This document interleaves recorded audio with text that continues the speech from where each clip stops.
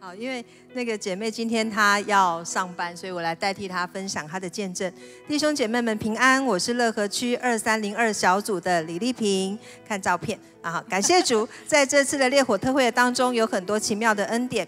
我的脚踝在三月下旬的时候打羽球翻船，就是脚踝严重的挫伤，整个肿的跟米糊一样，然后淤青红肿，然后医生说至少要复健两个月以上。那前两周呢，他都是一跛一跛的走路，几乎都是无法施力。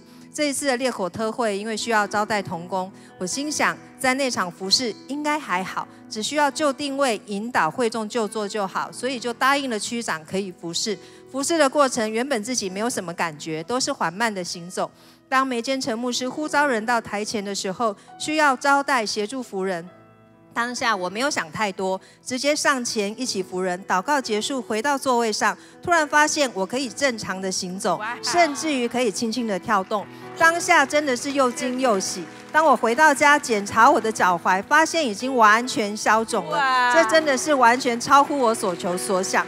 除此之外，在烈火特会的时候，我的妈妈摔伤，膝盖骨裂，需要紧急的开刀。原本父亲也因病卧床，需要妈妈照顾。现在妈妈又需要开刀，如果是原本的我，会非常的焦虑，担心妈妈的身体，担心医药费、后续的照护等等。但是烈火特会过后，我的心中有平安，完全不会紧张，一点焦虑感都没有，这是过去没有过的经验。感谢主，他不但医治了我的脚踝，更医治了我的心，让我真实感受到神同在的平安与喜乐，将一切荣耀归于神。阿门，谢谢。